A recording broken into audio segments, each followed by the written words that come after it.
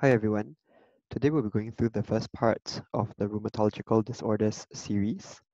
We'll be covering rheumatoid arthritis, systemic lupus erythematosus, antiphospholipid syndrome, dermatomyositis and polymyositis, and Sjogren's syndrome.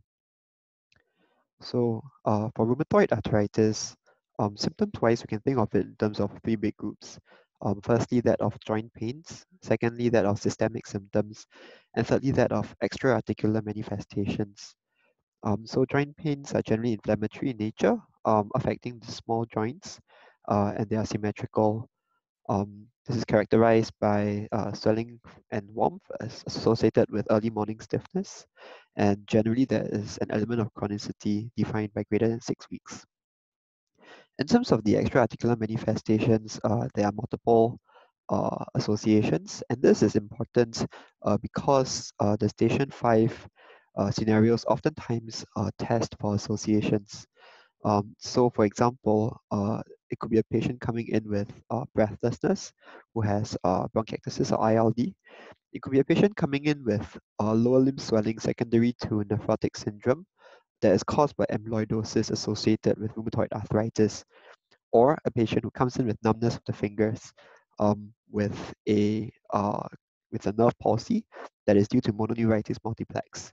So it's important to be aware of the different extraarticular manifestations and be able to think laterally um, shortness of breath in rheumatoid arthritis is a common scenario that can occur in both station 2 as well as station 5. Um, there are several big groups to think about. Firstly, that of respiratory disease. Um, so rheumatoid arthritis itself is associated with both interstitial lung disease and bronchiectasis. And treatment uh, in rheumatoid arthritis with methotrexate uh, and even leflunomide uh, can induce interstitial lung disease. Um, patients with uh, RA can get uh, cardiomyopathies from amyloidosis that can cause fluid overload, and an extreme nephrotic syndrome where there is uh, severe hypoalbuminemia and uh, pleural effusions, they can get breathless too. Um, patients with rheumatoid arthritis are, especially when they're on treatment, are immunosuppressed and hence are at risk for uh, infections or community-acquired pneumonias, uh, tuberculosis, and even opportunistic infections uh, like pneumocystis uh, carinii. So the examination wise um, is uh, apart from being focused on the joint, it's also important to look at the other associated areas. So in terms of the, the joints and typically the hands itself, um, typically you'd see a symmetrical deforming polyarthropathy. It's important to comment whether or not the disease is active or quiescent. Uh, there are several characteristic features such as the swan neck, Boutonnière, Z thumb uh, deformities uh, that you can uh, look for images. Um, and uh, it's also important then uh, after inspecting to uh, feel the joints uh, for warmth or active disease and subsequently test movement and function. Um, of note, it's important to inspect for the evidence of any surgical scars.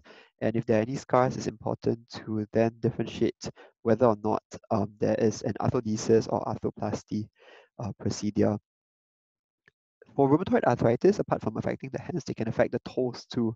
So um, it is good practice to offer to examine the feet of the patient uh, as well. Um, so patients with RA can have rheumatoid nodules.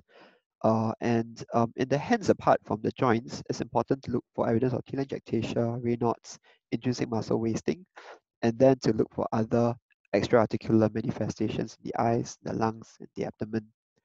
Uh, investigations wise uh, would include that of uh, basic labs such as the full blood count, looking for any cytopenias or evidence of infection, inflammatory markers.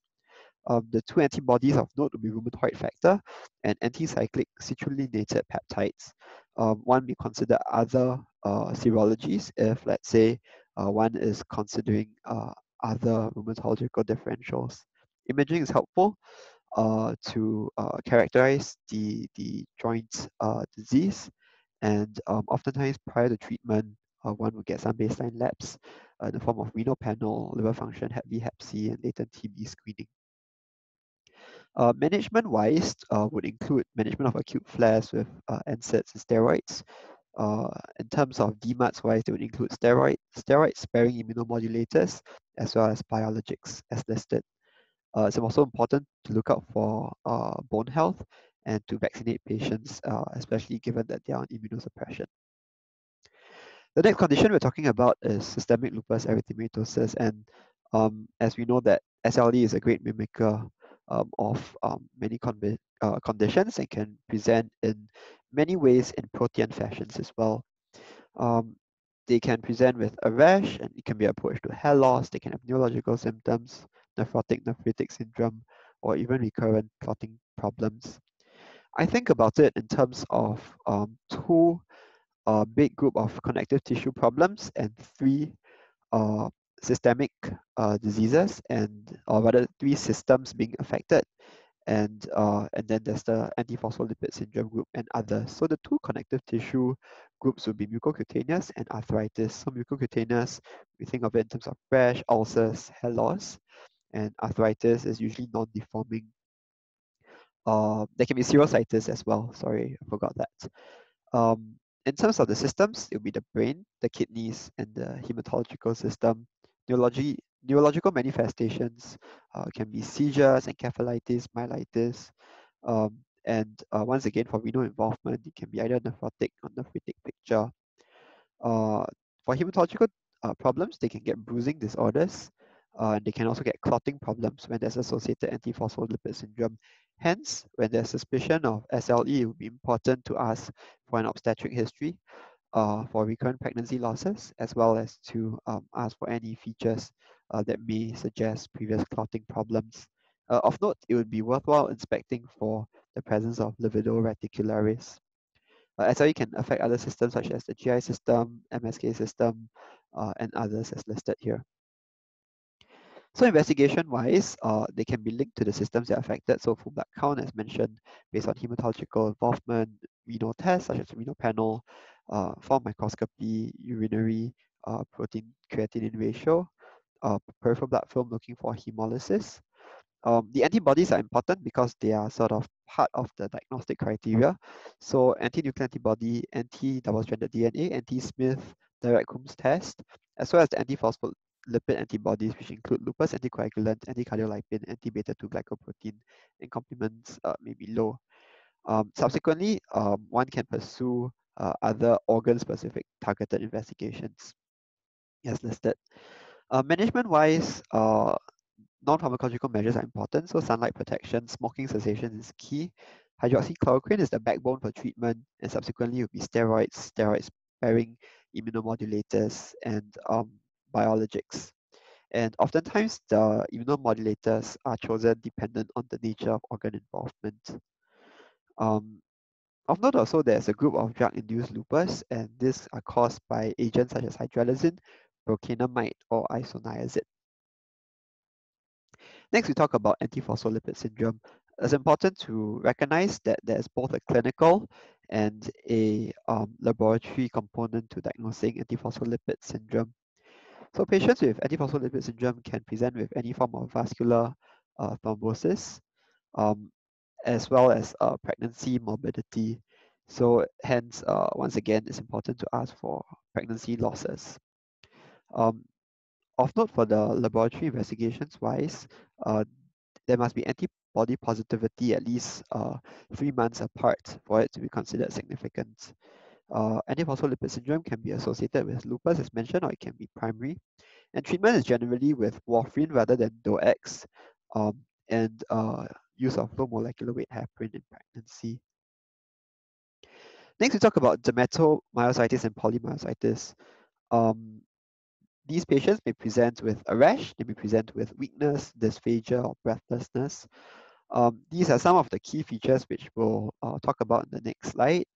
Um, and there can also be uh, extra um, um, or manifestations in other systems such as interstitial lung disease, cardiomyopathy, there can be dysphagia, and of note that is important is that they are associated with malignancies. So when one is taking a history, it's important to um, ask for uh, malignancy-related symptoms and constitutional symptoms. And in the management, age-appropriate cancer screening should be offered. Um, in terms of investigations, uh, first line would be that of uh, uh muscle enzymes such as uh, creatine kinase, aldolase, uh, electromyogram, and subsequently MRI muscle and muscle biopsy would be the gold standard Uh, there are antibodies uh, that may be used for prognostication. So anti-synthetase antibodies such as anti-Jo1 uh, may be associated with ILD, Raynaud's arthritis, Mechanic's hands. And as mentioned, age-appropriate cancer screening is key. Treatment-wise, generally involves steroid and steroid-sparing agents.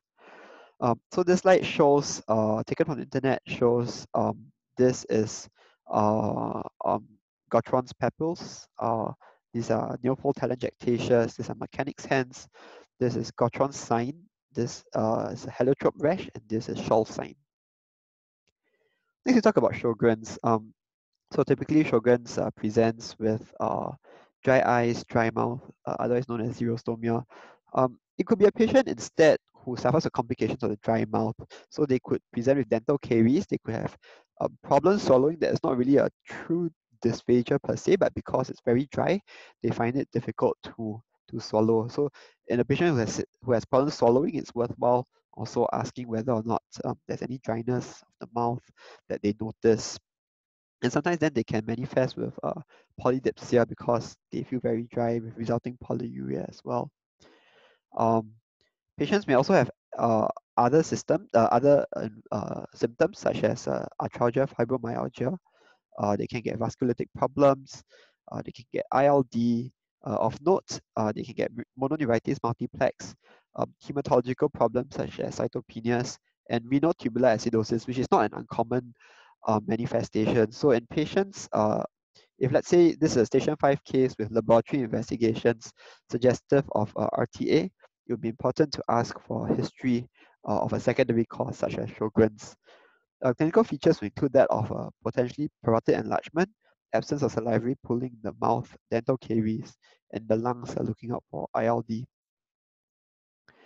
Um, investigations wise, so antibodies would include that of anti-Ro and anti-La. Functional studies are looking for eye, dry, uh, dry eyes and salivary hypofunction will include that of Schirmer's test uh, and salivary scintigraphy or sal cyelometry. Imaging uh, of the respective glands and biopsy can be considered as well. Treatment-wise, smoking cessation once again is key.